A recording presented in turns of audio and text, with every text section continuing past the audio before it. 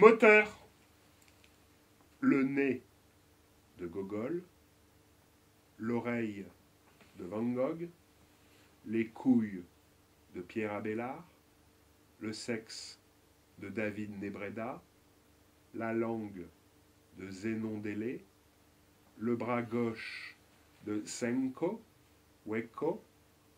La moustache d'Emmanuel Carrère. Le cou d'André Chénier, les mains d'Orlac, la jambe droite d'Arthur Rimbaud, le bras gauche de Cervantes, le bras droit de Sandrars, les entrailles de Mishima, les cheveux de Guyotta, la queue d'Isengrin, les reins de Couperin, les deux oreilles et la queue de Taureau. Coupé